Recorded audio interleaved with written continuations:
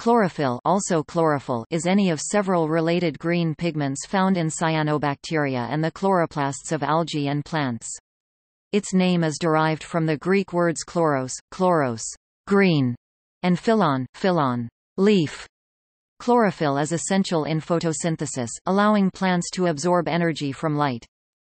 Chlorophylls absorb light most strongly in the blue portion of the electromagnetic spectrum as well as the red portion. Conversely, it is a poor absorber of green and near-green portions of the spectrum, which it reflects, producing the green color of chlorophyll containing tissues. Two types of chlorophyll exist in the photosystems of green plants, chlorophyll A and B.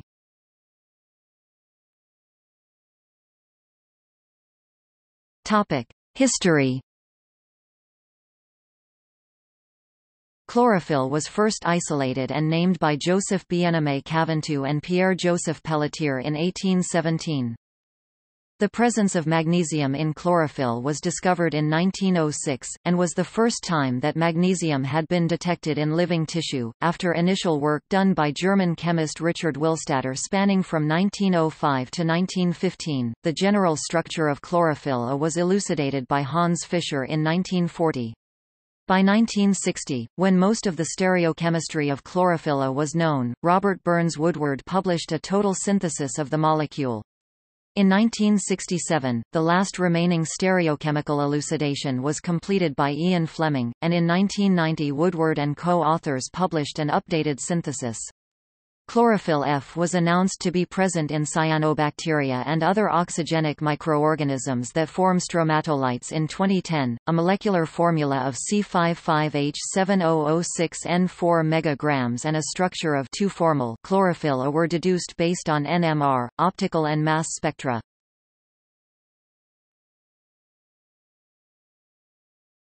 Topic: Photosynthesis Chlorophyll is vital for photosynthesis, which allows plants to absorb energy from light. Chlorophyll molecules are arranged in and around photosystems that are embedded in the thylakoid membranes of chloroplasts. In these complexes, chlorophyll serves three functions. The function of the vast majority of chlorophyll up to several hundred molecules per photosystem is to absorb light. Having done so, these same centers execute their second function, the transfer of that light energy by resonance energy transfer to a specific chlorophyll pair in the reaction center of the photosystems.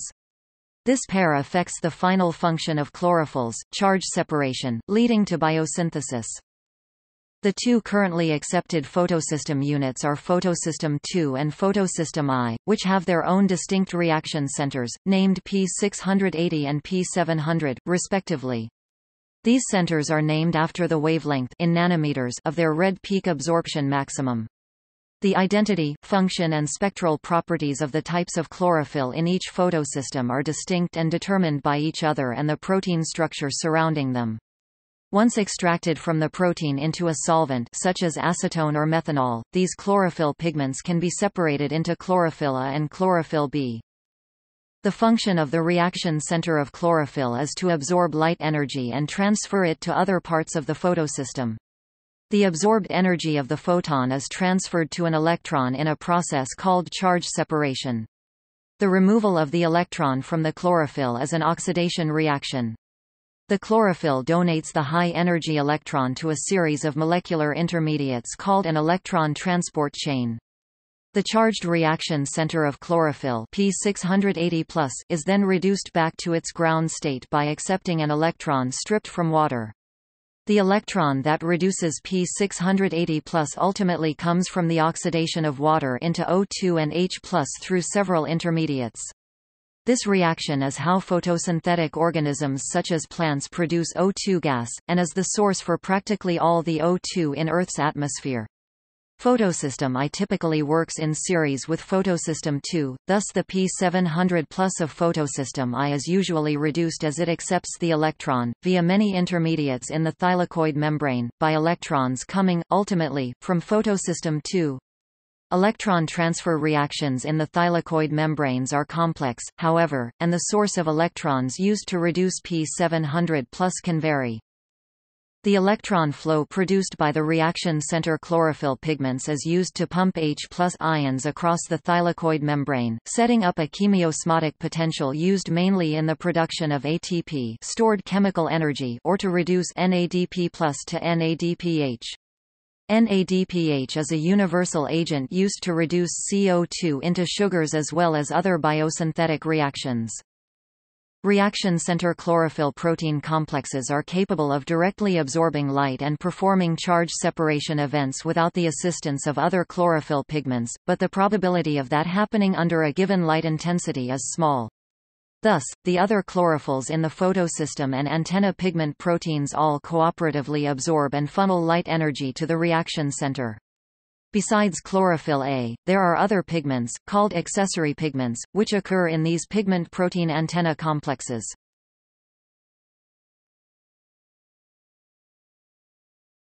Topic: Chemical structure.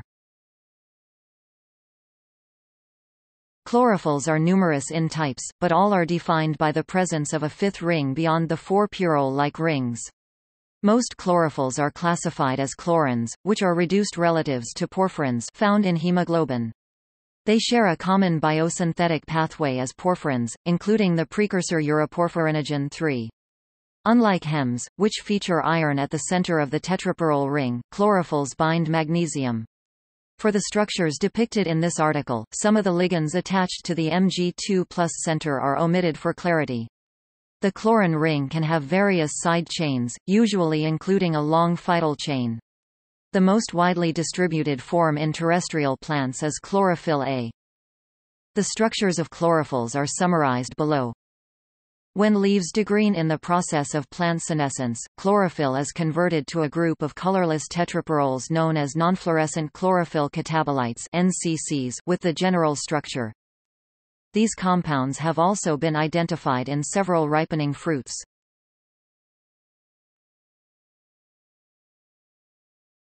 Topic: Measurement of chlorophyll content. Measurement of the absorption of light is complicated by the solvent used to extract the chlorophyll from plant material, which affects the values obtained. In diethyl ether, chlorophylla has approximate absorbance maxima of 430 nanometers and 662 nanometers, while chlorophyll B has approximate maxima of 453 nanometers and 642 nanometers. The absorption peaks of chlorophylla are at 465 nanometers and 665 nanometers. Chlorophylla fluoresces at 673 nanometers maximum and 726 nanometers. The peak molar absorption coefficient of chlorophylla exceeds 105 m-1 cm-1, which is among the highest for small molecule organic compounds. In 90% acetone water, the peak absorption wavelengths of chlorophylla are 430 nanometers and 664 nanometers. Peaks for chlorophyll B are 460 nanometers and 647 nanometers. Peaks for chlorophyll C1 are 442 nanometers and 630 nanometers. Peaks for chlorophyll C2 are 444 nanometers and 630 nanometers. Peaks for chlorophyll D are 401 nanometers, 455 nanometers and 696 nanometers. By measuring the absorption of light in the red and far red regions, it is possible to estimate the concentration of chlorophyll within a leaf. Ratio fluorescence emission can be used to measure chlorophyll content. By exciting chlorophyll a fluorescence at a lower wavelength, the ratio of chlorophyll fluorescence emission at 705 plus or minus 10 nanometers and 735 plus or minus 10 nanometers can provide a linear relationship of chlorophyll content when compared to chemical testing. The ratio F735, F700 provided a correlation value of R2 0.96 compared to chemical testing in the range from 41 mg m-2 up to 675 mg m-2. Gitelson also developed a formula for direct readout of chlorophyll content in mgm-2. The formula provided a reliable method of measuring chlorophyll content from 41 mg m-2 up to 675 mg m-2 with a correlation R2 value of 0.95.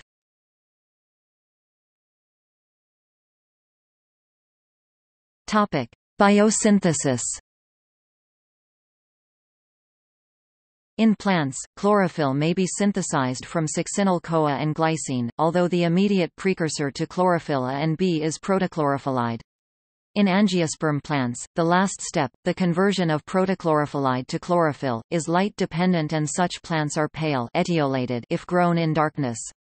Nonvascular plants and green algae have an additional light-independent enzyme and grow green even in darkness. Chlorophyll itself is bound to proteins and can transfer the absorbed energy in the required direction.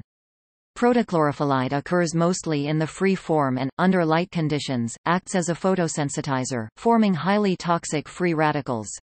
Hence, plants need an efficient mechanism of regulating the amount of chlorophyll precursor.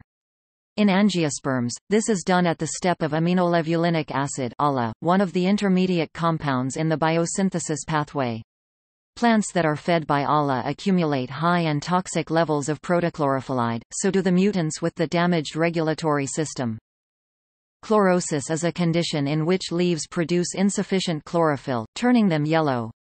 Chlorosis can be caused by a nutrient deficiency of iron called iron chlorosis or by a shortage of magnesium or nitrogen. Soil pH sometimes plays a role in nutrient-caused chlorosis. Many plants are adapted to grow in soils with specific pH levels and their ability to absorb nutrients from the soil can be dependent on this. Chlorosis can also be caused by pathogens including viruses, bacteria and fungal infections, or sap-sucking insects.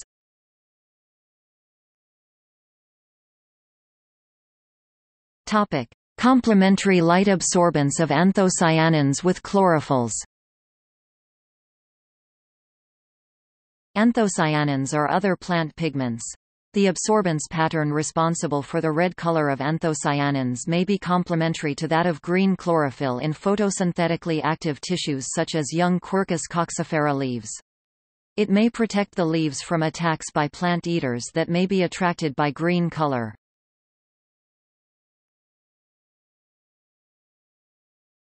Topic: Distribution. The chlorophyll maps show milligrams of chlorophyll per cubic meter of seawater each month. Places where chlorophyll amounts were very low, indicating very low numbers of phytoplankton, are blue.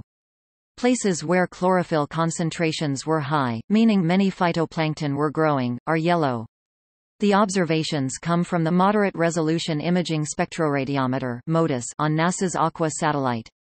Land is dark gray, and places where MODIS could not collect data because of sea ice, polar darkness, or clouds are light gray. The highest chlorophyll concentrations, where tiny surface-dwelling ocean plants are thriving, are in cold polar waters or in places where ocean currents bring cold water to the surface, such as around the equator and along the shores of continents. It is not the cold water itself that stimulates the phytoplankton.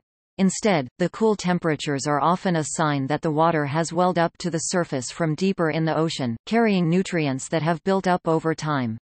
In polar waters, nutrients accumulate in surface waters during the dark winter months when plants cannot grow. When sunlight returns in the spring and summer, the plants flourish in high concentrations.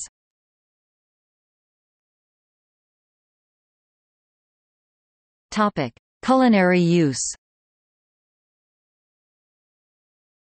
Chlorophyll is registered as a food additive colorant, and its E number is E140. Chefs use chlorophyll to color a variety of foods and beverages green, such as pasta and spirits. Absinthe gains its green color naturally from the chlorophyll introduced through the large variety of herbs used in its production. Chlorophyll is not soluble in water, and it is first mixed with a small quantity of vegetable oil to obtain the desired solution.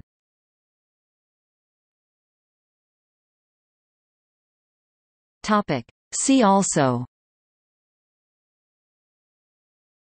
Bacteriochlorophyll, related compounds in phototrophic bacteria Chlorophyllin, a semi-synthetic derivative of chlorophyll Deep chlorophyll maximum Grow light, a lamp that promotes photosynthesis. Chlorophyll fluorescence, to measure plant stress.